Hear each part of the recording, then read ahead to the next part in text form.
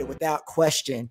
Um, you know, so we're always going to push the importance of, of that um, because it, it's something that um, a lot of folks need to subscribe to and invest in now, invest in your health now in any way you can. Um, not everything's going to go perfectly or, or like you expect, um, but it's still worth investing in, in, in, doing that and doing that. So I, I, feel great as I prepare to go home and see my family because I've taken an extra step of precaution. Um, so just don't be afraid to to do to do that. Um, but yeah, yeah. Speaking of which, um, you know, in terms of health and the booster shots and the vaccines, um, there's there was a travel ban on South Africa um, mm. because, and, and, correct me if I'm wrong about this, T, but um, the, a new variant was was found, not necessarily mm. because of South Africa, but it, but people reported about it in South Africa, um, and it is called the Omicron.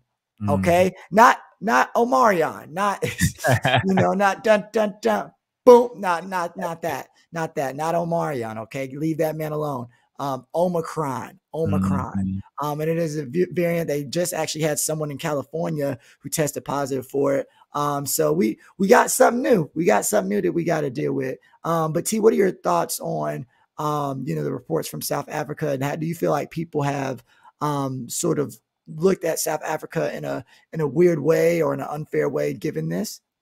Yeah, yeah, and I, I appreciate your PSA, right? I, I think that knowing that there's a new variant out is so important that people are getting these booster shots, they're getting their vaccinations in general, and that they're being safe and wearing masks. Because I know that a lot of people got very lax recently, right? Like since what maybe May and things started opening up, like the streets have been popping.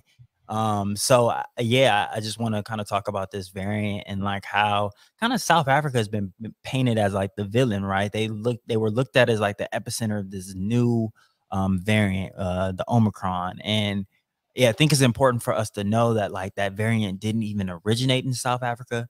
They just have the medical technology to uh detect it, flag it, sequence it, and tell the world about it. Um, because they're the ones that are handling like uh, the research on AIDS, and they're the ones handling the research on TB for the whole continent. So their their medical infrastructure is so good that they that because they were able to report it that they were labeled like the the villains the the reason that this is kind of happening so i think it's important for us to kind of like put that out there uh like straight up um, but yeah, that new variant is spreading rapidly in Europe, Asia, Africa, and now in the United States, like North America. Um, there are, I believe, about 10 reported infections nationwide right now. I think two are in California, um, and I know it's across five different states. Um, so I, I, just want people to be cautious. I want people to be aware. Um, and I want people to not be lazy because I think that that's a, a part of racism right there. Like, to look at like how this had already been in Europe and it had been in Hong Kong and it had been in a few different places, but because South Africa reported it, journalists were like, "Oh yeah, y'all are the problem." And then the bans, like we just talked about, uh, how you talked about originally, is that like the bans were placed on like South Africa and Southern African countries. And that's totally unfair because if we're doing that, then like it needs to be across the board. We need to be on Italy, we need to be on Spain and these other places where uh, this variant has been detected and detected even like um where it's been even present even sooner. So I, I think that these are just things that we have to think of when we're thinking about uh the medical system and like how racism can also like play a role in uh the medical system.